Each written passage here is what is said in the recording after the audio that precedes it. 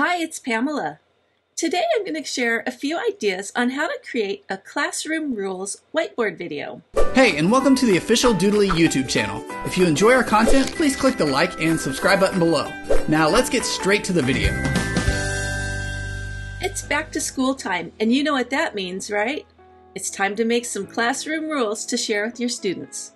Your kids will enjoy it because it's not too long, and for you as a teacher, it's not necessarily an overwhelming task thanks to Doodly. This video works great if you're teaching students remotely, although the rules that you have will be a little different for a remote environment. In addition, you can take screenshots of your finished scenes to use as handouts or make a larger poster for your classroom.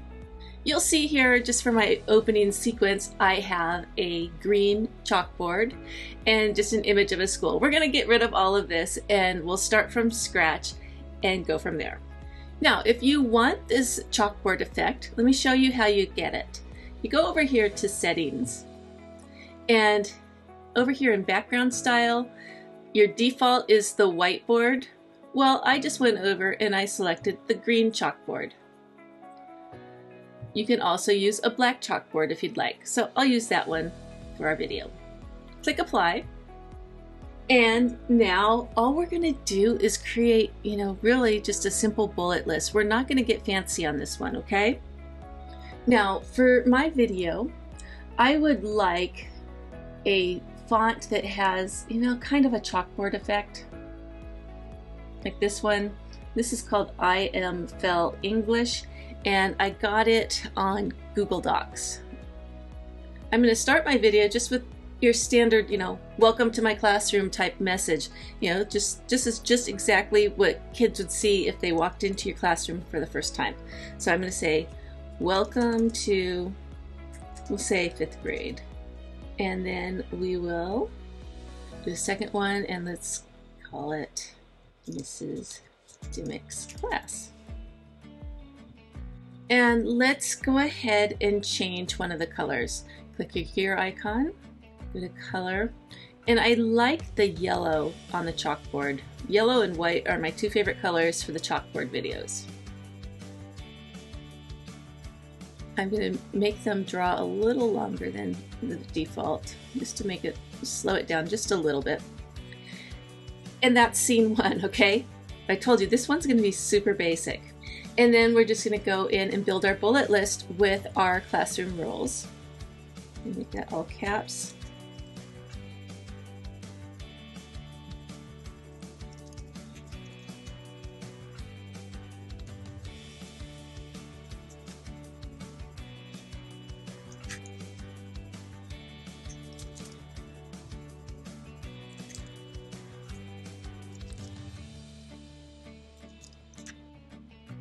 Okay, so I have my rules. They're just messy. You notice I just put them out there. I didn't worry about lining them up or doing anything while I was writing them. And one reason why I like to just get the bullet list written down is because then I can select them all together by clicking the control button or command and then clicking each item and now I can resize them and they'll all resize together and they'll be the same size. I think that's probably going to be about right by the time I move them around. So now, now that I have them sized, I can start moving them into the space.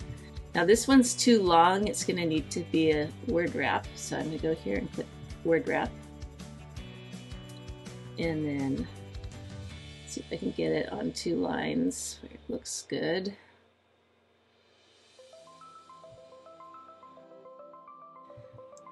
I don't want it this long, so I'm gonna edit it so it can all fit on one line. Go a little larger. Okay, so now I have each one in the proper order. And that's all looking great. Now I'm going to add some little check marks. So let's go over to props, type in check, and you see we have a couple different check marks we can use. I'll just use this one. And you notice over here it's black and over here it's black, so it's not showing up very well on my blackboard. So if you go up here to the little gear icon, go over here to invert, and that should turn it white, and it did. And now we have a little check mark we can draw on. Let's look at the timing. It's three seconds long to draw that check mark on.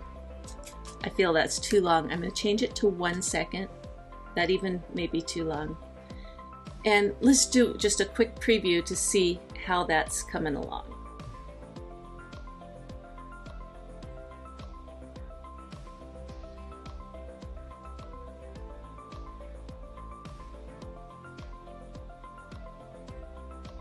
The check mark's probably fine. I do want the check mark to come after it says turn off cell phones.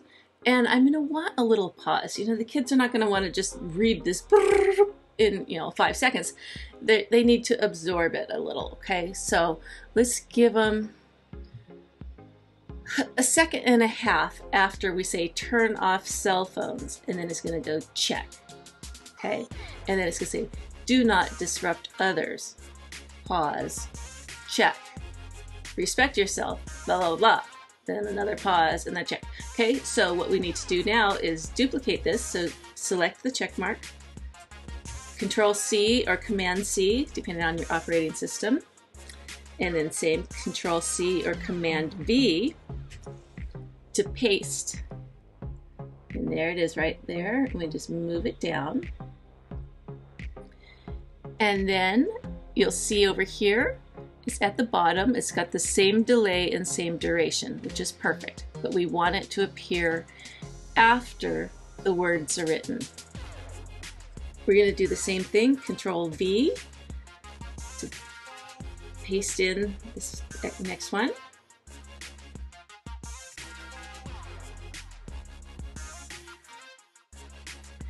And then let's add some time at the end so this just stays on the screen for a little while.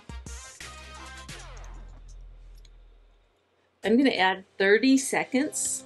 Yes, 30 seconds. Because I imagine as the teacher goes over these rules, the video is playing, bump, bump, bump, bump, bump, and then she's just going to want it on the background for a little while as she addresses the class. She's like, okay, kids, these are the rules. Does anybody have any questions about them? And blah, blah, blah, blah, blah. So that's why I'm going with the full 30 seconds. You might even want to go longer. And finally, let's just put a little soundtrack in the background. So you go over to your sounds tab and you find some music. Now this song here I like a lot and it's two minutes long. It's okay, we're gonna fade it out, okay? So I'm gonna go ahead and put it into place.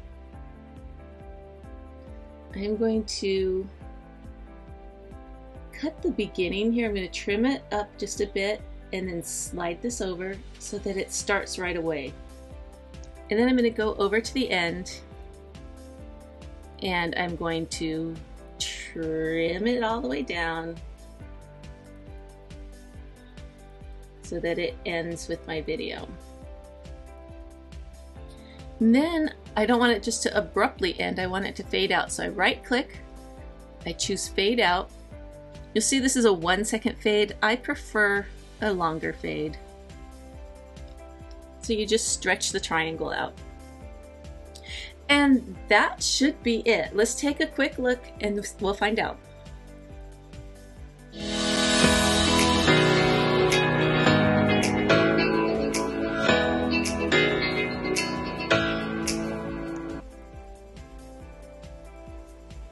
Okay, I want to change this.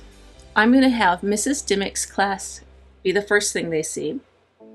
And then I want a little bit of a pause.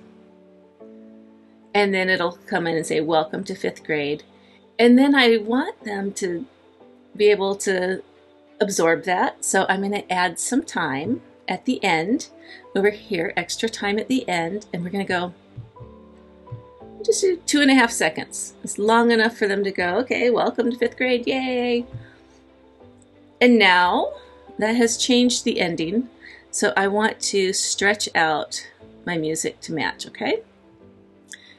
Now we should be done. Let's go ahead and hit preview.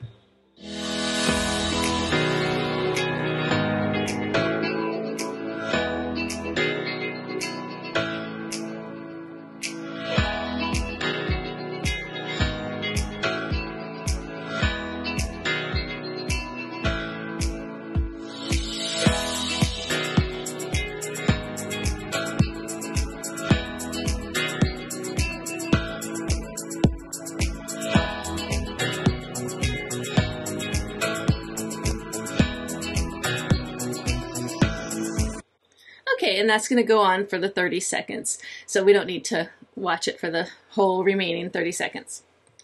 And that is the basics of creating a classroom rules video in Doodly. Thanks for watching.